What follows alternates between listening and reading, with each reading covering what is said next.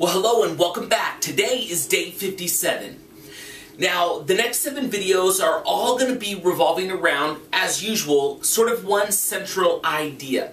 And this central idea is massively important. Now, if you were to go and Google what makes someone successful, which is really all we're talking about with results achievement, right? How are we going to go and achieve results and create the success you're looking for?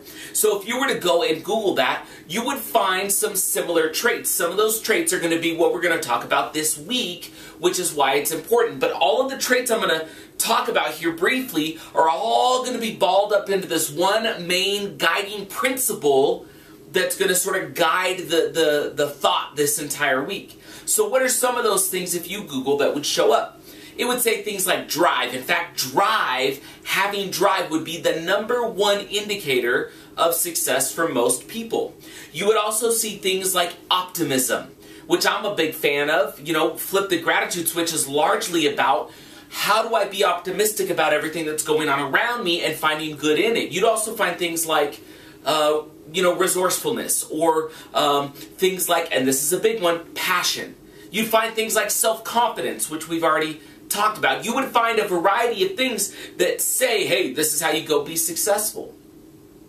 But there's one word and one idea that we're going to talk about over the next seven videos that encompasses a number of these. So here's the word. You ready for it? The word is grit. Now, you know what grit is? I think there's a movie called True Grit. I don't even remember what's in that movie. But grit is this idea of constantly persevering and sticking with it. It's taking that drive and taking that hope and that optimism and then also infusing it with passion, infusing it with your why and purpose and allowing that to drive you constantly day in and day out in order to achieve results. So there's a phenomenal book that's called Grit, and some of what we're going to talk about over the next seven videos is going to be found in this book. So I highly recommend, it's by Angela Duckworth, and I highly recommend you go get the book Grit. In fact, the result for today is going to be part of some of the research that Angela Duckworth did around this idea of grit. So here's the result for today. I want you to click the button below and the button below is going to take you to another site, and that site is going to have a 10 question quiz that's going to basically measure your grit. So, what I want you to be thinking about is do you feel you're gritty?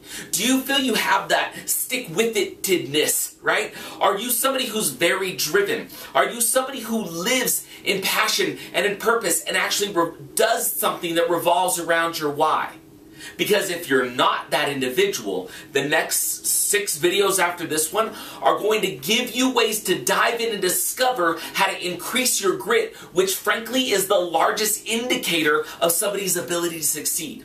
So, over the next six videos, we're going to talk about a few different things, but today let's start by figuring out how gritty you are. So go click the button below, take that grit scale quiz, and let's see how gritty you are, alright? Do that today, and we'll get started tomorrow talking about the principles that will make you more gritty so that you can be virtually guaranteed to achieve whatever result it is that you want to achieve in life. So we'll see you tomorrow.